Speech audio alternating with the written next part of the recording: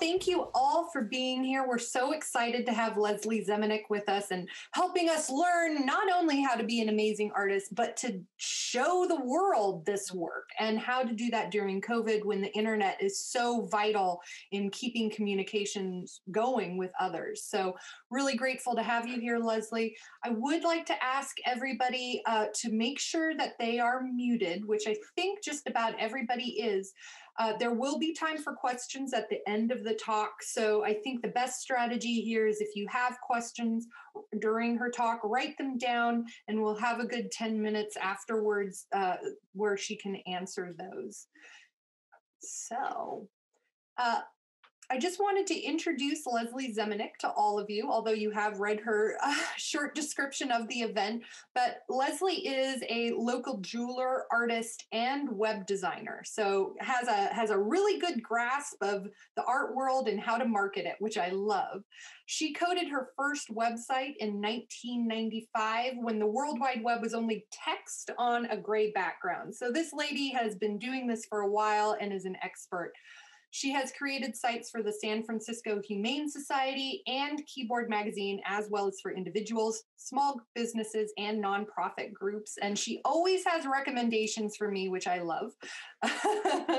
so, without further ado, Leslie, I'm so excited you're here. Take it away. Thank you. Hello, everyone, and welcome, and thank you for coming. And I just want to apologize in advance if you hear really weird noises. It's probably my elderly dog um, who is sitting just over to the side of me. Uh, I was on a Zoom call a couple of days ago where I was listening to someone else speak, and thankfully I was muted because he just let out a big barf. So hopefully we won't have to do that tonight. But I just want to apologize in advance if he starts making funny noises. Um, so uh, you're all here because obviously you're experiencing some uh, change in the way you get your artwork out to the world. Uh, I know that um, so many, so many shows have been canceled. Uh, galleries, have, at least here in Portland, have been open and closed, open and closed, depending on what level of lockdown we've been in. And even if when they're open, I know a lot of people just aren't going out and aren't visiting. And some of them have started to do some virtual shows or put their shows online, but it's still not quite the same thing. So uh, we don't know how much longer this is going to go on. And honestly, from everything I'm hearing, there's a there are a lot of people who are finding that this new way of working is actually kind of suited to them. So even when uh, all of this is said and done, and we have um, the okay to go back to living our lives somewhat like we did before, I'm thinking a lot of people are going to be doing business in different ways. Uh, and so I am here to help you figure out what that looks like for artists. So, um, sorry, just one minute. Ah, okay, there we go. Um, so this is from a, a recent article from Forbes.com. 62% of Americans are shopping online more now than they did before COVID. And I'm sure that includes people who are ordering their groceries online and everything from that to, um, you know, buying gifts. Um, I mean, I brought just bought a rototiller online. I would have normally gone to the hardware store. So uh, it's it's just the way of the world right now. And um, so for artists, a lot of us, even before this all happened, had been selling on Etsy. Etsy has been around a really long time as a platform for artists. But what some of you may or not, may not realize is that Etsy in 2016 um, went public. And before they went public, they had to get venture capital money. And when I mean they went public, I mean they sold their stock. They became a public corporation selling stock, being traded on the stock market.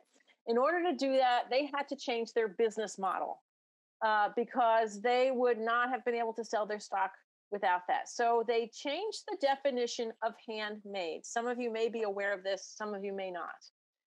Um, if you've been to Etsy lately, you may notice that it has been flooded by goods that I would not personally call handmade.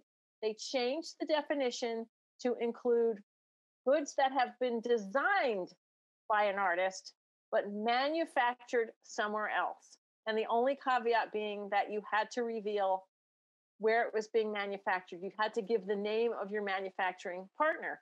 But what that means is there's all kinds of stuff in every price range and lots of very, very, very cheap manufactured goods that are um, not at all what I would consider art. Uh, some of them you will see they have like 50 of them, which means they're basically the same kind of stuff you could buy, I don't know, um, at Target. And this, uh, because of Etsy's algorithms, what happens is if you have 50 of an item in stock, you, you will show that item will show up in a search long before someone who has a one of a kind item. So that makes it really difficult for those of us who are truly, truly trying to make unique individual pieces that, in my opinion, is what is beautiful about art is that something is just um, this beautiful thing that you created and you could try to recreate it and you might come up with another one that's similar. For instance, if you were doing pottery, you could do a series of them, but every one has got your, the marker of your hand in it. So no two are going to be exactly alike. Well, those things don't go get show up in Etsy's um, search engines that high anymore. So in case you've suddenly, if you've been selling on Etsy for a while and you suddenly realize your traffic has gone down, that may be part of why. Now, this is not the only reason that Etsy is not the best reason to the only um, okay so the point i'm making is that etsy should not be your primary uh, web presence uh, if you're trying to sell online the other reason that etsy should not be your primary web presence is when you are trying to sell online what you need to do is develop a loyal customer base a following and when Etsy makes a sale, you may get a shipping address for the person who bought your item. But what you're not getting is their email address, their phone number, all of those things that help you to create personal relationships with this person so you can market to them again and again. And this is the most important thing you need to realize about Etsy. Etsy owns the information for your customers. You do not own it. I know some people do create relationships and some people make sales on Etsy from people they've cultivated outside of Etsy, like on Instagram or Facebook. Um, but Etsy is still getting then a cut of that sale. And they are still keeping the information of that customer. What makes a successful business is actually getting the information from your customers so you can develop a relationship with them. And that's the thing that you can do when you have your own website. Now, the downside of having your own website is you have to do the work to drive the traffic there. But more and more on Etsy, that's the same anyway because of how much competition there is. So when you get a sale on Etsy, that person may not come back and buy from you again. They may go to somebody else halfway around the world to get something different. If someone is coming to your website and they've given you all of their contact information, you can then um, make them your like your friend. And I'll explain to you what I mean by that as we go along. So, um, what I'm talking about is having an email list. Now, even when I was selling at shows, I would be at shows where it might not be very crowded. It'd be kind of slow. The crowd wasn't coming in. Maybe there was like great weather outside and they didn't want to be indoors, at an indoor show. Uh, or maybe it was lousy weather outside and they didn't want to be at an outdoor show. It happens. Uh, but there were always a few artists who always seemed to have crowds at their booth crowds. And every other artist would be standing around twiddling their thumbs, but these three or four artists consistently at every show we were in together would have crowds at their booth. The reason they had crowds, and I interviewed these people, I asked them lots of questions, is because they had cultivated an email list. And these people who were coming specifically to see them at these shows knew they were there because they'd sent them an email a few days before and said, Hey, I'm going to be at the Lake Oswego Festival of the Arts. Come see me at my booth. And honest to goodness, there would be throngs at that one booth because this artist had cultivated these relationships with their customers. So that is what I'm talking about. So they did it at their shows. Now it's time we have to do it with our websites because we can't meet face to face the way we were. So, the two things you will need to do this is a website with e commerce capabilities. And when I say e commerce, I mean the ability to have a shopping cart online. And you need to build your email list. You can build a website with e commerce capabilities, but until you have that email list, um, you're going to be depending on people maybe seeing your Facebook post or your friend telling a friend about you or someone who bought your art before and they don't know where to find you now. So they Google your name and they may come. But once you start developing an email list, you will have people coming back again and again and again. And I'll tell you how to make that happen. So, um, e commerce providers. We're going to talk about that first, and I'll come back to the email list towards the end because that's a really important part. So I want to end with that. E commerce providers. Here is a list of e commerce providers. Um, and I think, Selena, you said you're recording this so people will be able to have this. Uh, also, I made the PDF of these slides. If you want to um, send them out to people who sent you emails, I'm happy to have you do that too so that people can have this list. So it's easier than ever to have an e-commerce website. It used to be so difficult. Uh, in the last few years, it's gone crazy. So these are e-commerce platforms that exist now to sell product. There are now e-commerce platforms for people to teach online. This is a new thing that's coming um, because, again, of of us not being able to meet in person. There's way it, it's I mean, think about Zoom. Nobody knew about Zoom until suddenly we all needed it. And they had to, they they just jumped on it and um, bought more servers and got more power out so that we could all use their platform. And that was great. And there's all kinds of people who are developing new platforms every day because the need is there. So this is a list. Uh, I'm going to, I started with kind of the easiest up at the top, Wix has the reputation of being the easiest to use, the most user friendly. Now, these sites use templates. So you don't have to know how to code for a lot of these sites to be able to go and put your website up. They use templates. They use little forms. You go in on the back end, you sign up, you make your account, you go in on the back end, and you um, just fill out the form, and it does the work for you. It does the work for you. And Wix is um, so it has the easiest to use. Um, now, most of these have free. Uh, many of these have free versions, and I'll talk to you about that in a minute. Most of them have free either 14 days or 30 days for you to try them out. So if you say you sign up for Wix and you got 14 days free, and then you go, I can't figure this out, you have plenty of time to go, never mind, I'm not going to use you. So um, Wix, the, the, the links that I've given here, here are not just to their sign up page, they're to the pages that show their various plans and the levels of uh, and how much they cost. So that way you can compare which one do I need. So most of them have a free plan. With your free plan, on some of them, you don't get the e-commerce. You can just get a basic website. Um, on some of them, you can get an e-commerce website but you get their branding on it.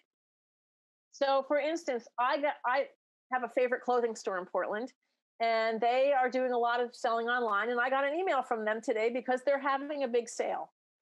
And at the bottom of their, um, I scrolled down on their website, and at the very bottom, they use Square, and there was Square's branding on it.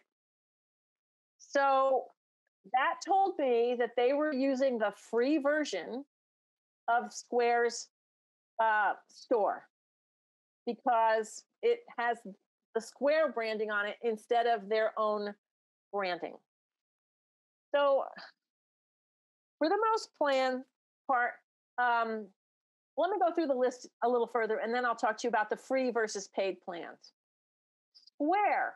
Now, some of you may use a Square, the little device, to take cards at shows. Um, and if you're not sure what I'm talking about, you may have gone to a bagel shop in town or um, some other you know service place where they have a, my groomer uses one. She's got an iPad and a square, and when I pay to have my dogs bathed, I swipe my credit card in the little square device that she has stuck in her phone or in her iPad. Square now is offering e-commerce capability. So if you already have a Square account because you've been taking Square payments, and um, this is a great option for you. Square is known for letting you list your inventory. So when I would go to shows, I would list all my inventory that I was taking with me on my Square account before I got there. So when someone wanted to buy something, I just I didn't have to type in the price or anything. I just opened up Square, found that, and swiped their credit card, and away it went. So if you're already working with a Square account, Square is one I would recommend looking into. They do have a free version of their plan, and they have some paid ones. Squarespace is different than Square. They have been around a while. Uh, my groomer has her um, website on Squarespace. And again, she uses the free version and it says Squarespace all over it when I open up her pages. Her templates are pretty simple. And uh, so you do get a lot more capabilities when you start looking at the paid plans. Shopify is an option for people who have a more complex store. I know a lot of jewelers use Shopify. It, it in so what a lot of these plans do is they integrate other things. Like Shopify integrates uh, great shipping rates for you, and um, uh, one of these, I think it was Square, integrates well with Instagram. So each of them has a little bit of a specialty of something extra that they're bringing to you as you go up in levels in their plans. Usually, you don't get all that stuff with the free version. Shopify is a little more expensive, um, but it also gives you a lot more uh, options in terms of how to run your business. And like I said, I know a lot of jewelers because they have a lot of inventory and they have um, they do a lot, uh, especially the ones I know who do a lot of custom work will often use Shopify. Um, there's another one that I didn't list here called Big Commerce, and they have recently, and I mean this week, literally, I've been getting emails from PayPal, who has now, I don't know if they bought Big Commerce or they just integrated or made a, um, a deal with to work with Big Commerce, but they, they are pushing a PayPal Big Commerce kind of, um, hey, you can now set up a shop with us. And other than Square, which takes obviously Square payments, these other sites often allow you to take PayPal if you're already using PayPal, or a lot of them use uh, a service called Stripe. He'll take payments. Uh, the ability to take payments is integrated into these uh, first four uh, template based services. And honest to goodness, they do make it really easy it literally is filling out a form. And then, if it's, for instance, if you're trying to set up PayPal, you just sign into your PayPal account and it does all this little magic right on the screen in front of you without you doing much. And the next thing you know, you've got the ability to take PayPal payments on your site. Uh, the technology for this stuff has come so far from where it was just a few years ago. Now, there are a couple other options if you are really looking for more customization. Um, GoDaddy has a couple of options for set. They have a template-based um, uh, shopping experience for you, and they also use WordPress. And I'll talk about WordPress in a second. So you have a couple of options with GoDaddy, and I listed GoDaddy because a lot of people buy domain names at GoDaddy and uh, their customer service is actually really pretty darn amazing. So, and they're known for that. So, if you have some challenges setting up, you can call them up and they are very, very helpful. Now, WordPress is the most commonly used platform for websites on the web these days. What WordPress is, is a basic site that uses plugins to customize it, which means you can do just about anything you want on WordPress. And I design most of my websites in WordPress because I can customize them for people any way they want. So you can buy uh, a, a, you can there's most of the plugins are free. They're um, developed by people who just think it's cool to add a functionality. So you can buy a plugin to give you um, a backend report on how many people visited. Uh, you can buy, um, get a plugin that will put your latest Instagram pictures across the bottom or the, down the side of your website. You can get a plugin that makes it run faster. You can get a plugin um, for um, collecting money for your products, and that's WooCommerce. And that's what I use on my site is WooCommerce. Also, incredibly easy. You just fill out a form, it makes the page for you. You connect with PayPal, and it says, hey, guess what? Now people can pay for it. It builds a shopping cart page without you having to do it yourself. Um, so, and then you, again, you can customize these things in a million different ways. So, if you have very, very specific ways you want your um, your um, website to behave, um, that's the way to go. Now, WordPress was originally a blogging platform. That's what it started out as uh, umpteen years ago. So most WordPress websites have a blog, but you don't have to. Uh, blogs are great ways to get people to come back and visit again because they're looking for new content. But as artists, you don't have to have one. Um, when I talk about what pages you need to have, a blog is not one of them. But if you like to write, or if you are um, like to just put up your latest um, piece or talk about what you're doing in your studio, a blog is a great way to get people to come back to your website the next time if they know how often you are going to put posts up.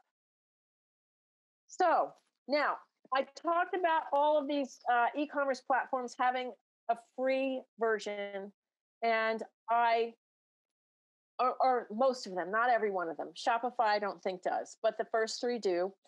Um, I mentioned that on the free versions, you don't end up getting the branding on.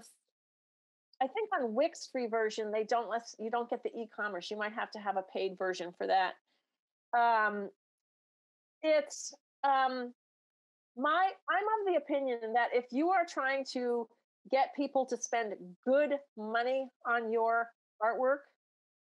And, and, the more expensive your artwork is, the more I recommend that you go with a monthly paid plan because you want people to look at you as very professional. You want it to look like you've been doing this forever. um, like if if someone actually put advertisements on your site if you have the free plan and they're advertising other products than yours. So I if you can swing it, some of them are as small as low as $12 a month. So we're not talking big money here. The ones that are a little more expensive are Shopify and BigCommerce, which I didn't list here. Um, because I think BigCommerce is really for much larger uh, enterprises from what I've seen of it. But um, you know, $12 a month, $18 a month, that's not too bad to be able to have your own branding, to not have advertising, to have a few more bells and whistles. So I highly recommend that if you can do that, uh, you go for um, the the lower level paid account and make it look a little bit more professional, get a little bit more um, uh, uh, bang for your buck in a way because you know free it, it, they say you get what you pay for and free is free.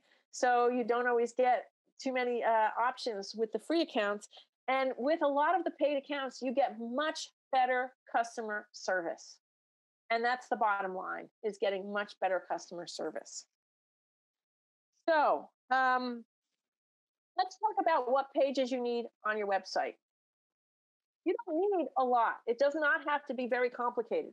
In fact, it's pretty um, it's been pretty well established over the years that people spend about 15 seconds on a page before they decide whether they want to stay or not so i am not telling you you need to write tomes of stuff for your pages actually you shouldn't um, you should have very little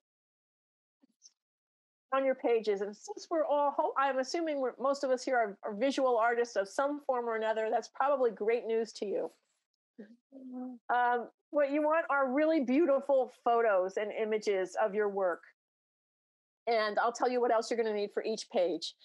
But what you really need is you need a home page, obviously, because that's the page that comes up when they first arrive um, you need an about page. And I'm going to talk to you why I think your about page is actually your most important page on your website. You may not have thought that was true, but I'm going to tell you why it is. You need a way for people to contact you, and you want to be able to sell people stuff, so you need a store page. So that's four pages. That is not a lot. Um, and then you can see down here, I have something called GDPR notices in small print. Um, GDPR is um, an acronym for a law that was passed in the European Union that has to do with privacy. And starting in January of 2020, California passed a law called COPA, which was also an online privacy act. So they brought it to um, the United States, and so as far as I know, no other states have followed suit yet. But the fact is, if anyone comes to your site from the European Union or from California at this point, you must have these privacy notices somewhere on your site because if someone says i i got an email from you and i didn't want it you can get in trouble um, i don't know how much trouble uh, as far i don't know of anybody who's actually been prosecuted for it but it's just a way to it's it's what, what do we call it? Can i say the word selena? Cover your ass? It's that's what it is. So i'll show you what those look like because we're going to go look at my website. I don't want you to get too fixated on those. I just wanted you to know that you need to have them. If you are buying a templated service from one of those e commerce platforms, guaranteed they have that already coded in. Now, when you go to a website, and we're going to go look at mine right now so I can show you what some of this looks like. Um, You'll see down here on the bottom, I have this notice. We use cookies to ensure that we give you the best experience on our website. If you continue to use this site, we will assume you are happy with it. That's a kind of a funny, friendly way to say that you, you know, you're if you if you don't like it, leave. every website on the planet these days. Um, so it doesn't make sense to say I'm going to leave unless you decide you want to get off the internet. So I'm going to click OK here. Once you click OK on a website, uh, it knows you've clicked OK, and the next time you come back, you will not see that notice again. Now, um, what that does mean is though they have to give you the ability to say, "Hey, you've got a cookie." What they what they've done is put a cookie in your web browser.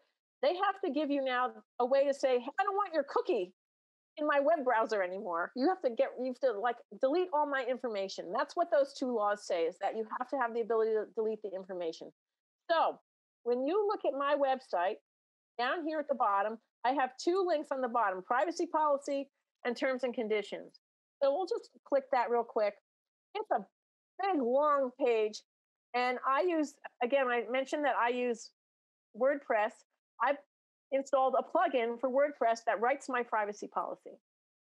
Um, there are websites you can go to that will do it for like 10 or $12. They'll write your privacy policy. You fill out a form on what kind of business you have, and it writes your privacy policy. So you don't have to hire a lawyer for this, but you should have one. And down here at the bottom, what I have is the ability of how to contact me if people want me to like delete their information because they've been to my website and now they decide they don't like me or don't trust me. So that is what your privacy policy does. So um, I'm not going to spend a lot more time on that. I just want you guys to know that it's a thing and it's just something that you should be aware of. So we're going to go back to my homepage. So you can see on my homepage, I don't have a whole lot going on, but I do have a compelling image. And I do have my menu across the top. And I have what we call a call to action. So some of you might put a tagline on your homepage. Um, a tagline is fine, but a call to action is something like, wouldn't you like to own this? That's a call to action. Or please subscribe to my email list. Those are calls to action. So, what you want to do on your website is have these calls to action. So, to me, this is kind of a more passive call to action. Show the world you're one of a kind, but I'm still saying I'm asking people to do something. So, this is the kind of text you want to think about for your homepage. You want to ask people to do something. And you want to do that on your website a lot because you're trying to get people to feel like you're interacting with them. So calls to action, whether it can be all kinds of things, like like I said, it can be sign up for my email list. It can be please visit me on Facebook, uh, or it can, or please in you know come see me on Instagram if you want to know what when I'm having a sale. I mean, they can be all kinds of things, but you're asking people to take an action.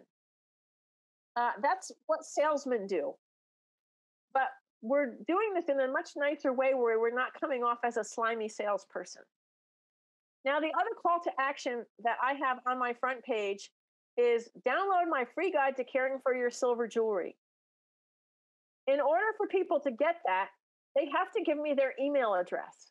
This is how I'm building my email list. And I'm going to come back and talk about that again later on. But this is right here on my homepage, and you can put this somewhere on every page. And some websites you'll go to, you'll see they have a pop up that does it. I'm personally not a pop up person, but some people prefer that, uh, having a pop up. Some people ask you to go to another page to sign up for it. But download my free guide to caring for your silver jewelry is something that I will tell people I I have on Instagram, on my Facebook page, or just when I meet them, I say, hey, go to my website and, and you can download my guide to caring for your silver jewelry. And that way I have I get their email. Um, and then I can send them an email later and say, hey, I'm having a sale. Or hey, it's Valentine's Day. Don't you want to give your sweetie some jewelry? Uh, or whatever I have to ask them to do. So just want to mention that we're going to come back to that.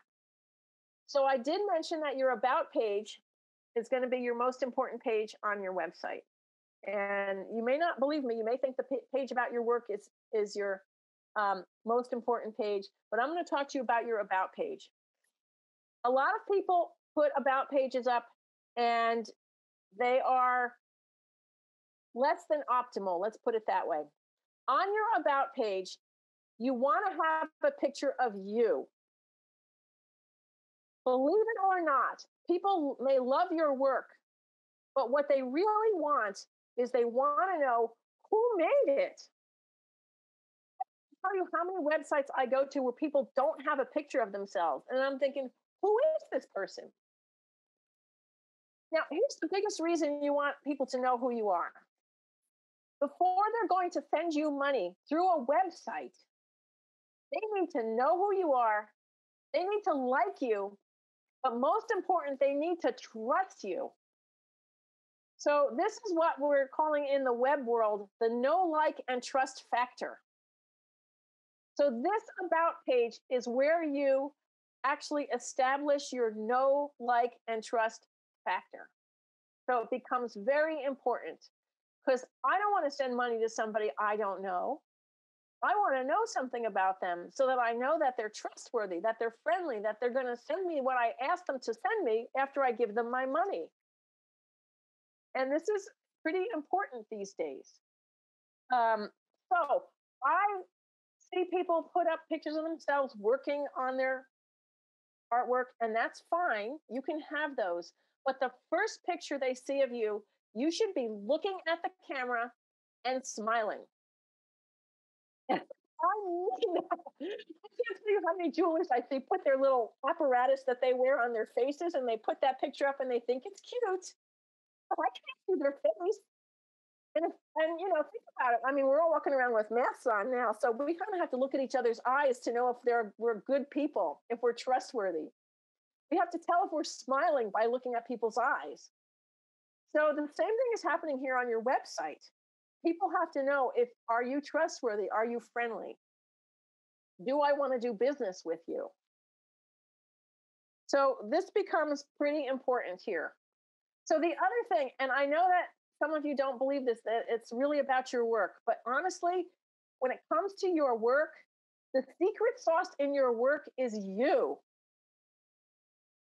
There's a reason why some of those um, jewelers that I discussed about what at shows always had people surrounding their booths or other artists always had a lot of people at their booth. They have some secret sauce that people want to do business with them. They're friendly. They've made people feel important. They feel like they know them. People want to be believe it or not people will want to be your friend I have I had another business for years where I can't tell you how many of my customers want to be my friend. And now that there's Facebook, they all send me friend requests. I have a lot of friends. So it's really hard to be friends with all of them.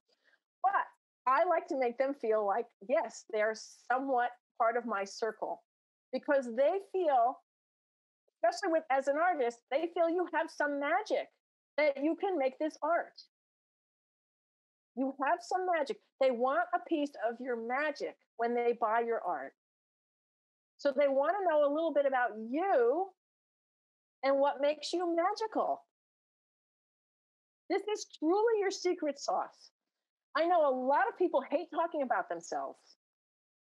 A lot. You need to get over this. it's really, really important. So, what do you say about yourself? Forget about a resume. Nobody wants to read your resume if they want to buy your art. A resume may be important if you're trying to get into a serious gallery. And uh, so I'm not going to say it's not important, but if you want to put a resume, either put a separate page that's a resume. It is not your about page, it's different. Or scroll down and put it at the bottom after you talk about yourself. Because honestly, if I go to an artist about page and it's a resume, I'm like, I don't care. I'm not an art gallery. I'm not. I'm not an HR person who's going to hire this person. I don't care if they got awards. I want to know what makes them an artist. Now, most of us have also been told that in order to, to um, communicate what makes us an artist, we're supposed to write an artist statement. I don't think you need a traditional artist statements either. And I know most of you hate writing them. do it. Do it. something. Okay, the way you need to write about yourself on your website is like you're talking to your best friend. Talk in plain language. And another thing I see people do is they try to sound very corporate. So and so has been doing this since such and such a time. It's like, or they call themselves we when they're a single person because it makes them sound like they're a bigger enterprise. Now, if someone calls themselves we and it's pretty obvious they're an I, what does that do to your trust factor? It's kind of like, hmm, maybe not so trustworthy. It's like, why is this person trying to like pull on me? So, another thing that's very um, much a thing these days is um, so I wrote here about my first brooch that I made when I was seven years old. It's a cute story. It's friendly. It makes me sound like just like anybody else. I was a kid once, right? I'm not trying to be highfalutin. Um, then down here, I have a little picture of my process. I say a little bit um, that uh, sawing is my meditation. It's pretty simple. And then down here, you can see pictures of my uh, studio helpers. So it's very uh, good to throw in one tiny little personal tidbit about yourself so people feel like they know you, other than the fact that you're this mystical artist that seems untouchable. This is actually uh, kind of a thing in marketing right now.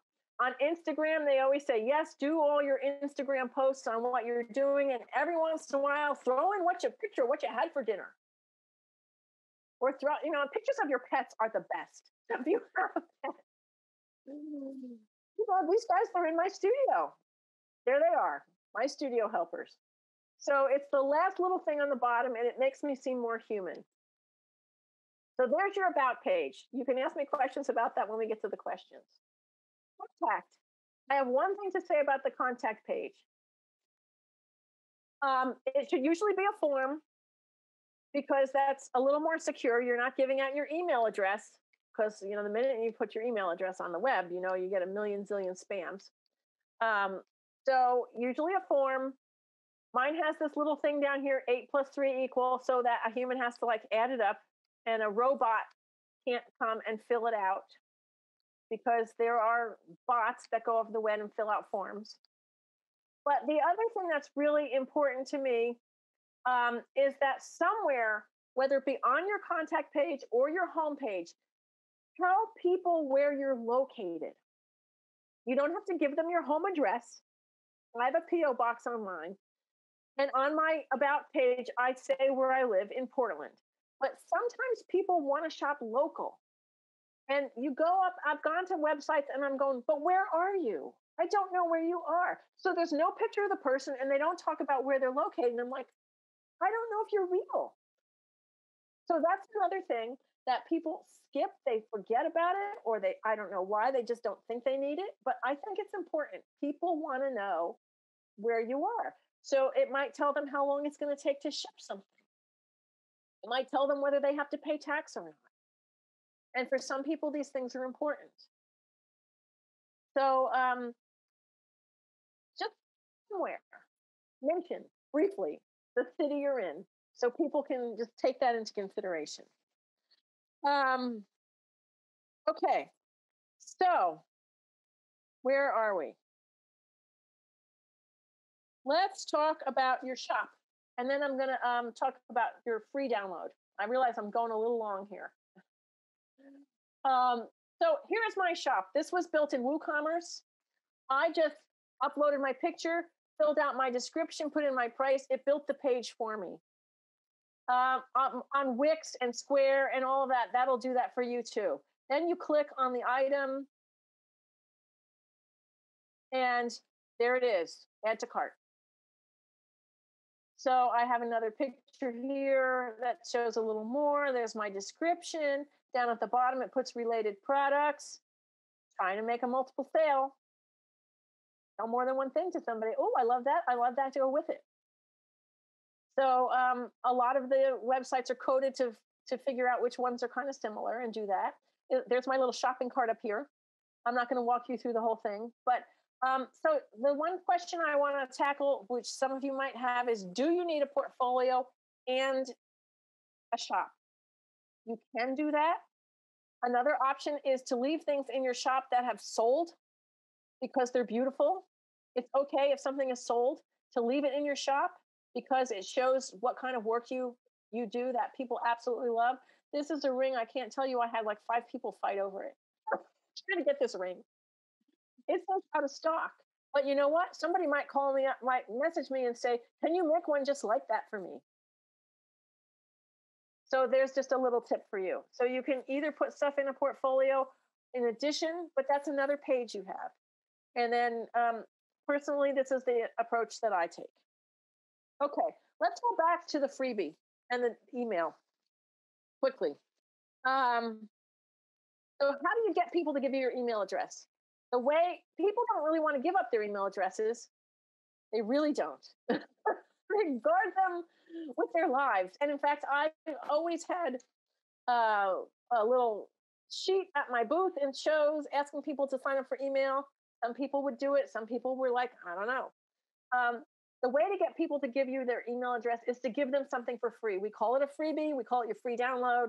Uh, some people call it a lead magnet because it's leading people to be magnetic to you. that's a that's a market speak term. I like the word freebie because it's free. So, what can you offer somebody as an artist that they can download a digital something they can download that is related to what you do that they will want to give you your their email address. What you should not do is give them a lesson on how to do what you do unless you're selling classes. Because what that does is it will just attract other artists who want to be like you, but not customers who want to buy your work. So if you do sketches, you can do a sketch and give people a one page coloring page. People like to color. There's that whole coloring book thing going on, right? Give them a, a couple of pages they can color that are of your work. Uh, if you make scarves or or weavers, uh, give them a, a, sheet on how to tie scarves.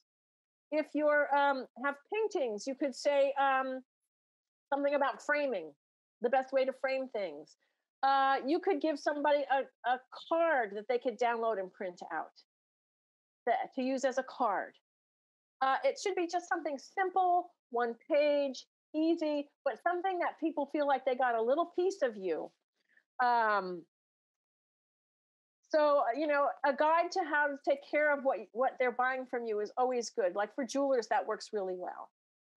Uh, for weavers or people who do clothing, that could work really well. The coloring book thing is can work really well. A card can work really well. Um, if you are wondering about some ideas that you're not sure if they're the right one, you know, I'm going to give you my email address at, at, the end. I'm happy to like talk to people about this later if you want to bounce off some ideas. So now, in order to get this little doohickey on your website or a little pop-up to um, get people's email addresses, you need what's known as uh, an email um, provider, email solution provider. And the most famous one, the one people are probably mostly uh, familiar with, is MailChimp. MailChimp has a free version. I have not found MailChimp to be that user friendly. And the free version does not come with very good support, but it's a great place to start. But there's a there's another um, sheriff in town when it comes to email solution providers, and that's MailerLite. And they have a free version for up to a thousand subscribers, easy to use, beautiful templates for your emails. And basically, the way I got that little thing on my uh, website is that I had a little snippet of code that they give me and just pop that in, and it shows up.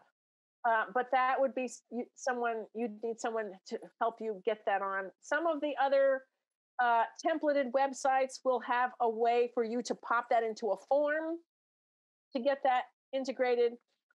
And then what you do when you get these uh, this um, this provider uh, where you have an account is you set it up so that whatever you're downloading, they you upload it to them. When someone signs up, it they automatically get an email that you've written that says, Hi, here's your free download.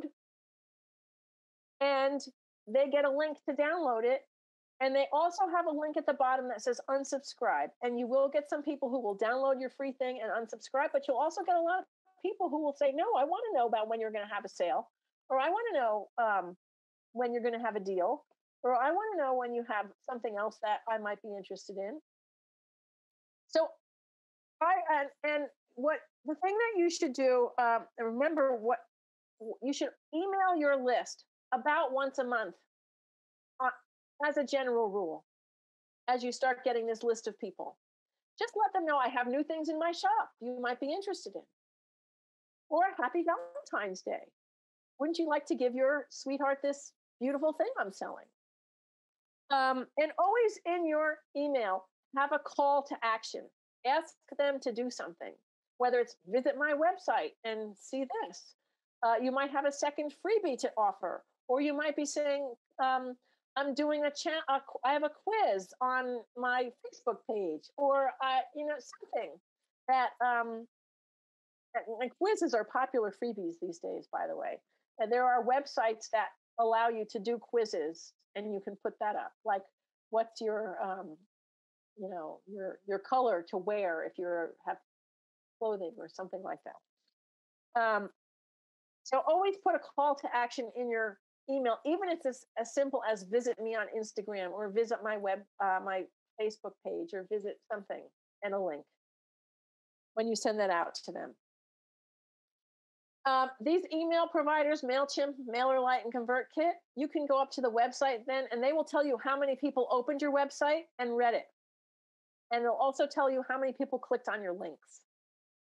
So that'll tell you whether you're doing a good job or you need to like do something different the next time. Maybe people weren't interested in your um, in your in your Valentine's Day special, so you might need something else. But um, they give you all the feedback that you need so that you can keep doing it and doing it better. So the last thing I want to say about the email is if you have a domain name for your business, like for instance, if you like use your name like www.johnwsmithart.com, get an email address that uses john at johnwsmithart.com. If you use Gmail or Yahoo or one of those, you're more likely to go into people's spam or junk folders. That's just the way it is. So if you are having a domain, um, most of your people who uh, host your domain will also be able to set up that email for you as well. Your branded email with the same as your domain. Okay. Um, I think I powered through. um, I, I'm hoping we can just get the questions in now. Selena, uh, take it away. Well, we had actually had a couple of questions in the chat uh, while you were speaking, and the first one was: Is okay. BigCommerce the same as Big Cartel? I don't heard a lot about Big Cartel lately, so I can't say. I know I had looked into them a while ago, um,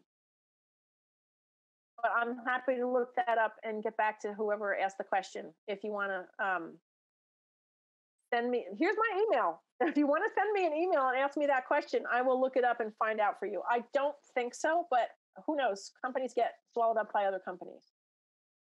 Okay, next question. Um, the other question that was uh, chatted, sorry, give me one second. One, Sarah was asking, does out of stock on products on your shop make people think the work is mass produced? No, because all of them, my inventory, it all says that everything on my site is one of a kind. So if it's one and it's out, um, it's out. I mean, Etsy uses that term, or they could, I mean, I don't because I'm using WooCommerce, I don't have the option to, for it to say sold. Um, but I imagine some of them might use the wording sold. But I think out of stock is a common phrase. Uh, for instance, if I some jewelers will make ten of something because they cast it or they, um, you know, cut it out the same way.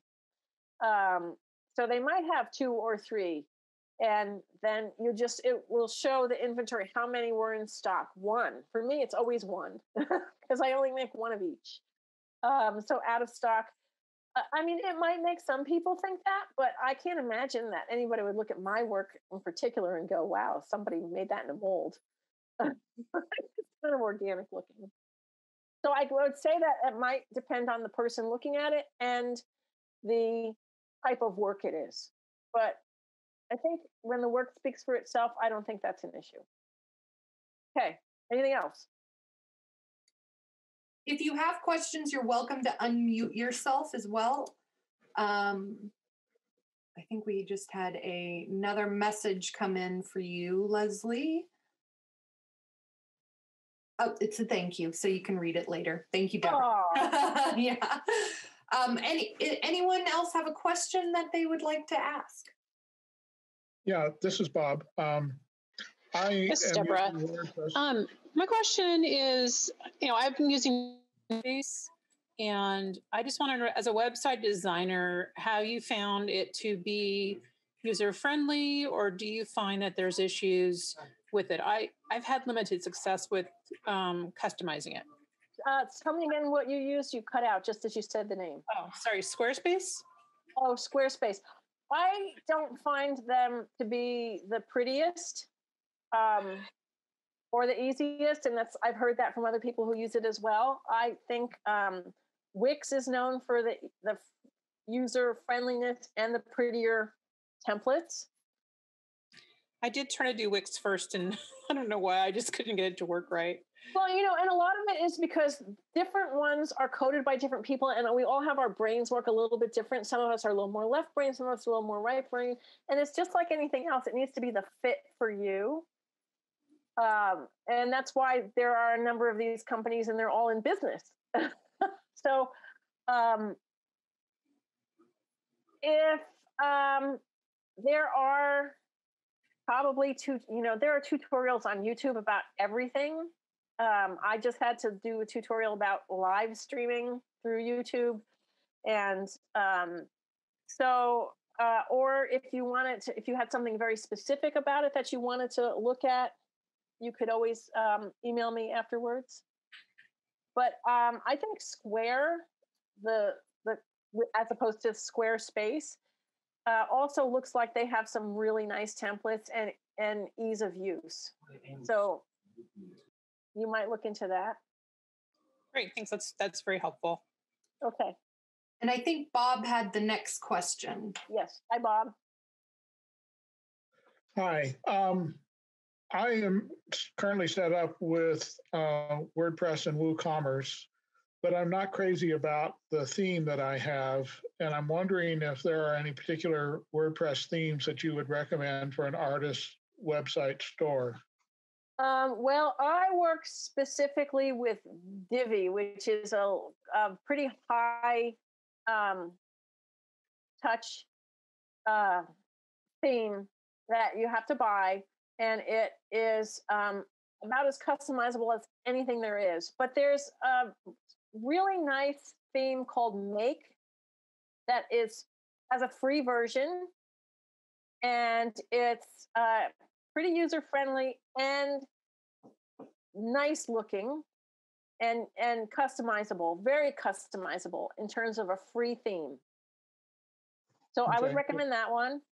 Just make m-a-k-e m-a-k-e is what it's okay. called. So you could look into that one. Okay thank you. And i think they have pretty it's it's a particular company they have a higher end version one. They have a, the free version and a paid version, but they do seem to have pretty good customer service. And the other one that you're using, you said was Biz what? Divi, D I V I. Um, okay. Divi is a, about the most customizable you can get. And um, so, for instance, when I started out doing websites in the 90s, I went to work for a traditional graphic design company where everybody was used to doing it in print. And they would stand behind my desk, the print designers, and go, Can you make that text tighter? And I'd go, No. you couldn't. It was what it was. But with with Divi, you can make it tight and thin, and you can overlap things, and you can make swooshes, and I mean, it's like you can do anything you can think about. Do you uh, find that you you need that customization? Oh, I use it. okay. It might be a little. It's there is a bit of a learning curve for Divi. Make is probably a friendlier version for you. Okay, thank you. All right, we have another chatted question, Leslie, um, okay. from Jan, I believe. She says, I have an existing website built by a friend several years ago. I'd like to now update my web presence by using one of the options you've suggested. How would my domain name move from my old site to a new one? Okay, so um, that is a fairly easy thing to do. Um, the the domain name, the person who built your website probably did that for you. Yes. Um, the person you, uh, the place you bought your domain name from, did you buy it from GoDaddy? Yes. Okay, so there's an easy way to do this at GoDaddy, and GoDaddy can probably help you if you call them up because their customer service is good. Okay. But you go to manage domains on GoDaddy, and on that page it'll show you it'll show you uh, something called dns servers so when you sign up for wix or squarespace or any one of these other um, services they will tell you the name of the dns servers that you need to put in the little form they'll probably send you an email with it and it'll also be in their how to as they walk you through setting it up okay and you go to Do- GoDaddy and you go to the manage my domain page and you pop it in and you hit save. And if you can't do it yourself, you can call them up and they'll help you with it. Okay. Um, and what it, I just want to mention though that it may take up to 24 hours to change over. Okay. So don't immediately go to your browser and go, hey, it's not working. Okay. So I can use the same URL? Yes. Okay as long as most places will require you to have uh, one of the paid accounts to use your domain name. Mm-hmm. Um, okay. But you know, like I said, a lot of them are like twelve dollars or sixteen dollars, um, and I think it's worth it to have your okay. own domain name. Okay. All right. Thank you. You're welcome. The next texted question is: Could you talk more about your uh, about telling your story? what to share that will be appealing and i assume they mean to audiences who are encountering your website oh in terms of talking about yourself on your about page um, well I, you know i mean people love hearing like the about like a particular experience you had making art or what did you have a teacher who influenced you or um, you know did you go to a museum and see a piece of artwork that made you go oh god i need to do that or um, did you work in corporate and you go, God, I just can't stand it anymore? Um, so those are the kinds of things. Uh, does that help? Who did, who did the person who asked that question around? Do they want to unmute and say hello? Hello. yes. Yeah, that that's helpful. I was just I actually work with am working with artists about their websites and trying to think of ways to help them talk about themselves when they're not necessarily comfortable doing that. Yeah, but you know what? Everybody has that that moment that made them go, "I need to be an artist." Okay. You know, at, at some point when someone committed to actually put their artwork out, that's a big deal. okay. you, you feel a little exposed, right? So sometimes it yeah. can be like, "Oh my god," you know, if they can tell that story, you know, just get a, um, a microphone in front of them or a recorder and just start getting them to talk. Oh, okay. Um, because people are better at talking than writing. Oh, that's a good idea. Yeah. Yeah. Okay. That's good. Yeah. I often tell people if you don't know what to write, start talking into a microphone and then transcribe Okay. Thank you. Thank you very much. You're welcome. The next question is from Val Hubbard. And Val, you may want to chime in here. I'm not sure I completely understand, but her message says Does Mark on WordPress have e commerce? Yeah, I'm not sure I understand that question either. Uh, Uh, so the question is so you mentioned that Mark was an easy template for oh, um. Word, Make. For, oh, it's on Wix. Ah, no, Make. You said make as a theme for WordPress? Yeah, is is was it Mark who you said the that was good as a WordPress template? Make M A K E. M A K E. Got it. Yes, you would okay. still need to use WooCommerce. Okay. Okay. Um, so you could, so you can, so in addition to that, then you would also add in would uh, WooCommerce. Okay, thank you. Yes. Yes, and WooCommerce is free as long as you aren't selling like you know a bazillion million dollars worth of stuff. Great, thank you. Are there any last questions for Leslie? Okay, well, I just want to conclude this by saying that Leslie actually offers offers multiple web design packages herself. So besides just being an artist, again, she is a web designer. Um, and in those web design packages, that would include email marketing integration and individualized training videos that are made for you too. So this could be a really great way if you would like a helping hand in creating your website um, to different degrees, she can tailor it for you. Uh, if you have further questions about any of her services, I have included her emails, um, her email and her website in the chat. Also, you can see it on the screen. Um, and you you can reach out to her and she's more than happy to do a 30 minute phone consultation with you to get to know your needs. So a really great opportunity to chat through some of your specific website struggles and marketing struggles and get those nipped in the bud. So I just want to thank everyone for being here. We did record this event and it will go into our archive on the Lakewood website. So that's www.lakewood-center.org, where you found information about the event. So you can always revisit this video. And again, reach out to Leslie. Um, she's wonderful and will be a great help if you're uh, if you're struggling. Thank you. Thank you, Selena. And have a great evening, everyone. Be safe out there. Thank you, everybody, for coming. Thank you. Thank you.